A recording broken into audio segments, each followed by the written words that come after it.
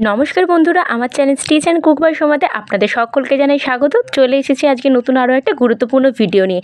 আজকের ভিডিওতে দেখুন, একটা সুন্দর ব্যাক নেকের ডিজাইন নিয়ে চলে এসেছি। এটা হচ্ছে পটলি বাটনের উপরে। এই জিনিসটা কিন্তু সাধারণ ব্লাউজকে খুবই সুন্দর করে ফুটিয়ে তোলে। এইটা করার পর কিন্তু ব্লাউজটা দেখতে খুবই সুন্দর লাগে। তো অবশ্যই আপনারা এরকম ব্যাক নেকের ডিজাইনটা একবার তৈরি করে দেখবেন। দেখতেই পাচ্ছেন এখানে ব্লাউজটা কত সুন্দর দেখাচ্ছে।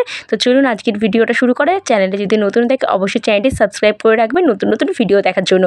আর ভিডিও শেষে লাইক দিতে একদমই ভুলবেন না। তো প্রথমে দেখুন এখানে মেন কাপড় এবং লাইনিং কাপড়, এখানে যেরকমভাবে নর্মাল পিট কাটিং করে সেরকমভাবে করে রাখা আছে। তারপরে এখানে আমি শুধুমাত্র হাফ ইঞ্চি করে এক্সট্রা নিয়েছিলাম, সেটাই কিন্তু এখানে প্রথমে মার্জিন করে নিচ্ছি।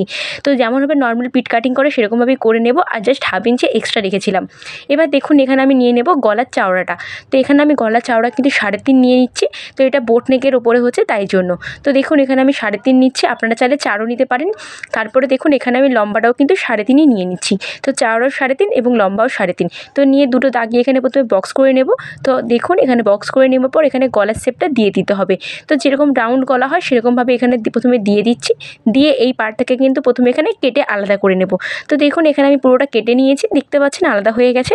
তো এবার এটার সঙ্গে আমি লাইলিং কাপড়টা জয়েন করে দেখাবো। তার জন্য দেখুন মেন কাপড়টা এখানে সোজা দিকে রেখেছি, তার তারপর লাইলিং কাপড়টা রেখেছি। রেখে এখানে গলাটা আমি জাস্ট দুশুত করে গ্যাপিং দিয়ে পুরোটা সেলাই করে নেব। যেরকমভাবে নর্মালি সেলাই করতে হয়, সেরকমভাবে এখানে আমি সেলাইটা করে নিচ্ছি।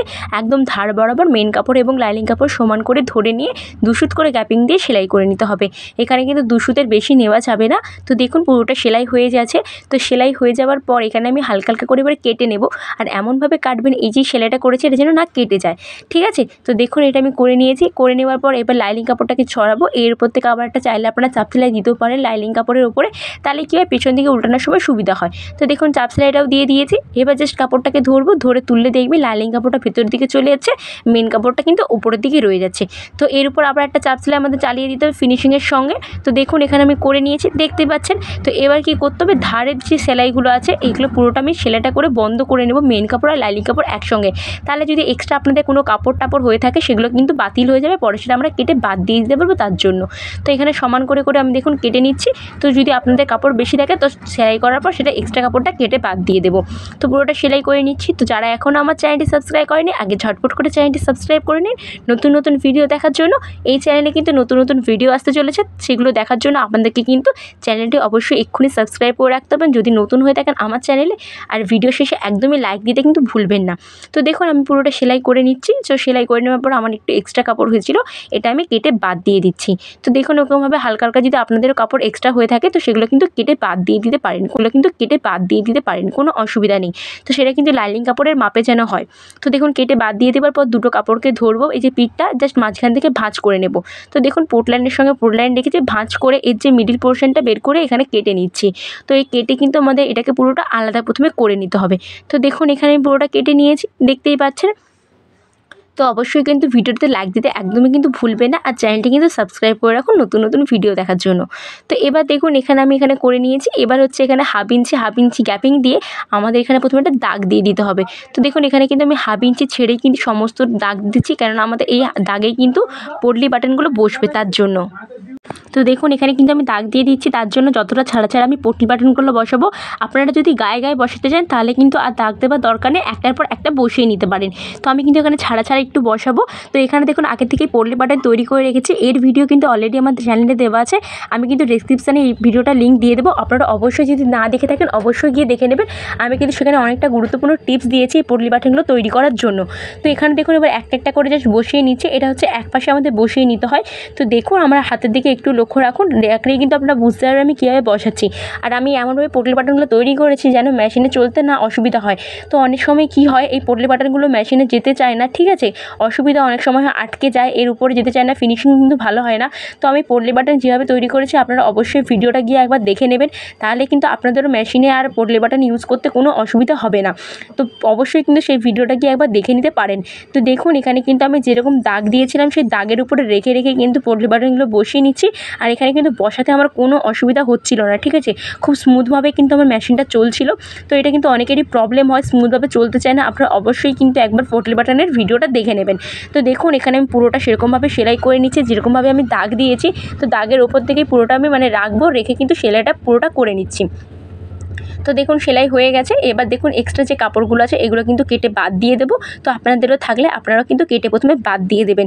তো এরপর বাকিটা আমি দেখাচ্ছি। আর যারা কিন্তু এখনও আমার চ্যানেলটি সাবস্ক্রাইব করেনি, ভিডিও দেখছেন, তো অবশ্যই কিন্তু ঝটপট করে আগে চ্যানেলটি সাবস্ক্রাইব করে নিন নতুন নতুন ভিডিও দেখার জন্য।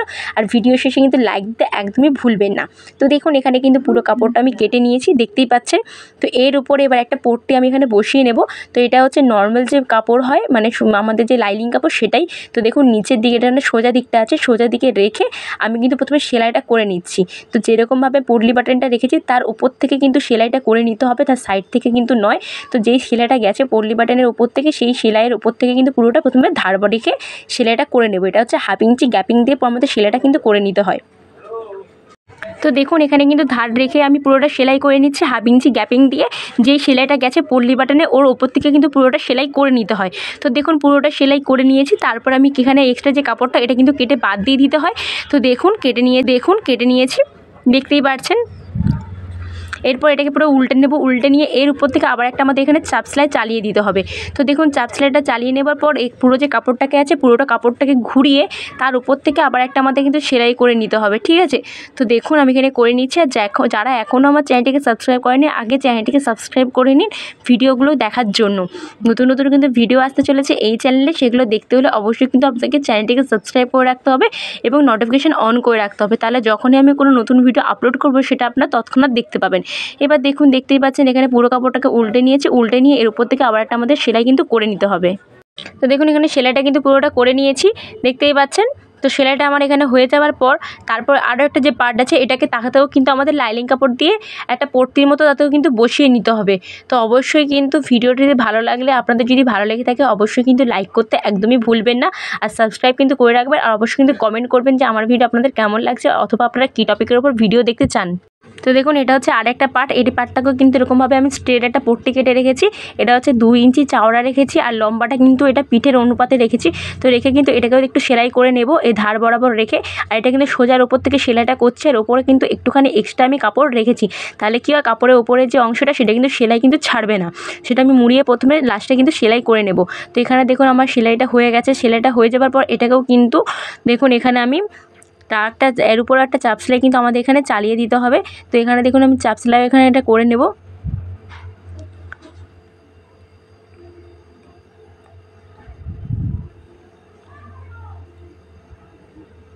দেখুন, চাপ সেলাইটা এখানে আমার হয়ে গেছে। এবার এই যে কাপড়টা আছে, ওপরের যে অংশটা সেটাকে মুড়াবো, মুড়িয়ে কিন্তু এরকমভাবে ভাঁজ করে নিয়ে এর উপর থেকে আবার একটা আমাদের সেলাই এখানে করে নিতে হবে। ঠিক আছে? তো আপনারা চাইলে কিন্তু এখানে মেন কাপড় লাইলিং কাপড় নিয়ে কাজ করতে পারতেন। আমি কিন্তু এখানে শুধুমাত্র লাইলিং কাপড় নিয়ে কাজটা করেছি মানে সেলাইটা করেছি। আপনারা চাইলে এই পটিটা কিন্তু মেন কাপড়ের সঙ্গেও কাজটা করতে পারতেন। ঠিক আছে? তো এখান থেকে আমার পুরোটা সেলাই হয়ে গেছে। তো সেলাইটা হয়ে যাবার পর আগের যে পার্টটা ছিল, সেই পার্টটা এই পার্টের ওপর রাখব, রেখে কিন্তু তার উপর থেকে আবার একটা আমাদের সেলাই এখানে করে নেব। তো দেখুন, এখানে উপরে কাপড়টা দেখতে পাচ্ছেন ফিনিশিংয়ের সঙ্গে সেলাই হয়েছে। তো এইখানে কাপড়টা এক্সট্রা রেখেছিলাম এই কারণেই। তাহলে যখন উপরের যে অংশটা, সুতো কিন্তু সেখান থেকে বেরোবে না। এবার দেখুন, আগের যে পার্টটা পড়লে বাটনের যে পার্টটা এই পার্টটা এর উপরে রাখব। রেখে এর উপর থেকে আবার একটা আমাদের এখানে সেলাই কিন্তু করে নিতে হবে। তো দেখুন, ধার বরাবর রেখেছি ফিনিশিংয়ের সঙ্গে কিন্তু সেলাইটা করে নিতে হবে। আর কখনোই কিন্তু কাপড় টেনে হিজড়ে কাজ করবেন না, সবসময় আলতো হাতে কাজ করবেন। তো দেখুন, এখানে আমি পুরোটা সেলাই করে নিচ্ছি, তো সেলাই করে নিচ্ছি। করে নেওয়ার পর আপনাকে দেখাচ্ছি ঠিক কেমনটা দেখাচ্ছে। তো দেখুন, এখানে সেলাইটা হয়ে গিয়েছে। দেখতে পাচ্ছেন কত সুন্দর এখানে আমার পুরো পিঠটা রেডি হয়ে গেছে।